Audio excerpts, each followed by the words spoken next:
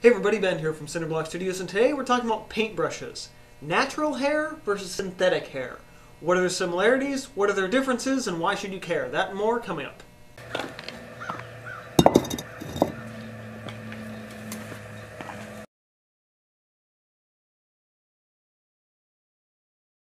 So regardless of the medium, oil, acrylic, watercolors, there's always two different types of brushes. Natural and synthetic hairs. Both come in soft and stiff varieties depending on which fibers are used, and both come in a variety of sizes and shapes for any needed application. So let's look at natural hair bristles first. What are natural hair bristles? What do you mean by natural hair? Well, hair that comes from an animal.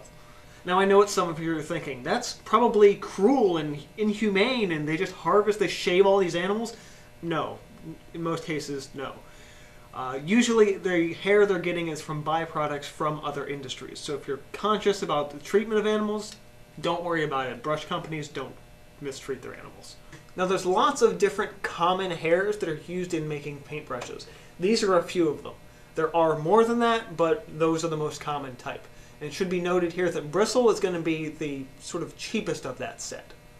Natural hair brushes are great if you're using oil paints in particular because the oils in oil paints will condition the hairs of the bristles to remain either soft or stiff as they need to. Extra soft natural hair bristles like squirrel are actually really great for watercolors. In particular because they tend to hold a ton of water and just be able to really kind of soak a page for great wet on wet techniques. Plus for a watercolor scenario, using more natural hair bristles will usually mean that those brushes are going to last pretty much forever. Now what about my favorite paints, acrylics? Well, for a natural hairbrush, they actually don't go super well together. An acrylic paint is going to be harder uh, on your brushes in general, but specifically be much harder on a natural hairbrush. For this reason, most artists will choose synthetic when using with acrylics, especially too because a acrylic paint tends to kind of clog into your brush a little bit, and that clog happens a lot faster with those natural hair brushes.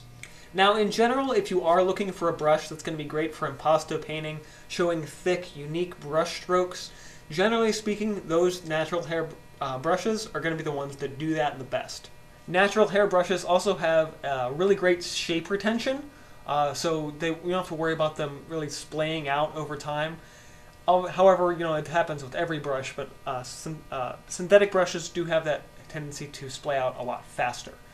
The only real downside to the natural hair brushes, though, is that they're kind of expensive. Okay, so let's talk synthetics now. Synthetics are generally designed to mimic the natural hair of natural hair brushes. They're usually made with nylon or polyester, or in a mixed synthetic brush, both. For acrylics, synthetics are usually your main brush to go for. Compared to a natural hair brush, at least for acrylic use, they tend to hold and release a lot more paint. Now, while you can use a natural hairbrush for both oils and acrylics, generally speaking, if you're using oil paint, you don't want to use synthetic brushes with oil paints. Biggest reason is the oils will actually damage some of the synthetic bristles and in general just kind of destroy your brushes in a very short period of time. Now synthetics for watercolors to me are a really good mid-range uh, option. Specifically, a nicer quality synthetic for watercolors gets you that right price point while still getting something that will last both a long time or a short time depending on how you use it. So for synthetic hair brushes for watercolors and acrylics, it's going to be a lot more cost effective to get, say, a cheaper brush that's synthetic and it'll just last you a little bit longer for, again, your acrylics or your watercolors. Now, while a lot of natural hair brushes are going to show those brush strokes, a lot of synthetic brushes will show little to no brush strokes. So if you're worried about having that extra bit of texture in your piece, try out a synthetic brush. Now you might be thinking, wait, why would I not want my brushes to show brush marks? I thought that was kind of a good thing. It shows complexity in the painting. Well, if you're varnishing a, a painting with a brush, you don't want to have brush marks. That's all you really need to worry about.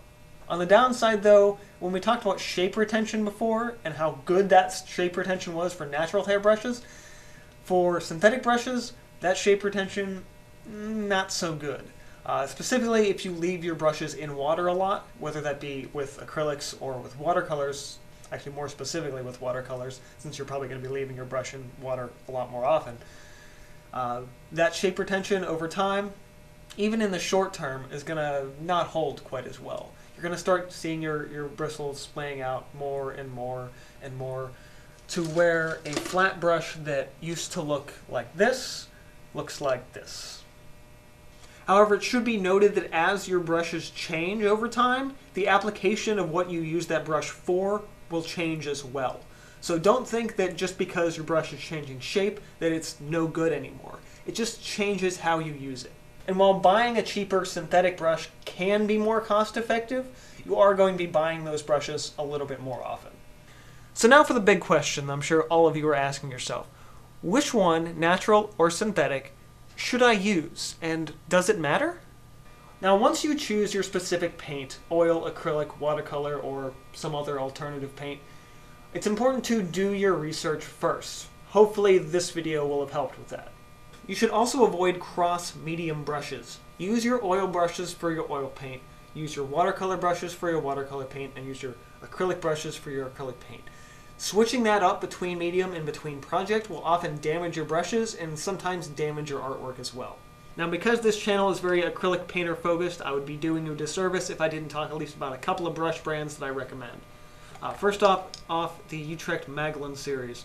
Uh, highly recommend this brush. Super soft bristles, but also have a nice snap to them. Really hold their point uh, very well over time, uh, which is rare with a synthetic brush, as we've talked about before. But generally, generally speaking, I love these brushes. I've been using them since high school. Also, Blick and Utrecht Master Series brushes. These are going to be, on the terms of synthetics, kind of on the top end of your price range, but I highly recommend it. So these are some of the best brushes I've ever used in my life. And if you live outside of the U.S., you're probably not going to be getting anything uh, Utrecht or Blick. So I have to uh, suggest some Liquitex freestyle brushes. You can buy these directly on Liquitex's website, and uh, I highly recommend trying them out. Uh, some also, again, some of the best brushes ever I've ever used. Uh, really kind of hold the paint uh, really well, but aren't afraid to let it back out onto your canvas. These uh, green ones in particular are designed to be used uh, on mural painting, but they also work, also work really, really well on canvas. So natural brushes, synthetic brushes, a combination of both. Which one do you use? Let me know in the comments below. Also, if you learned anything in this video, hit the like button, get subscribed if you're not already, and this has been from Cinderblock Studios. See you guys next time.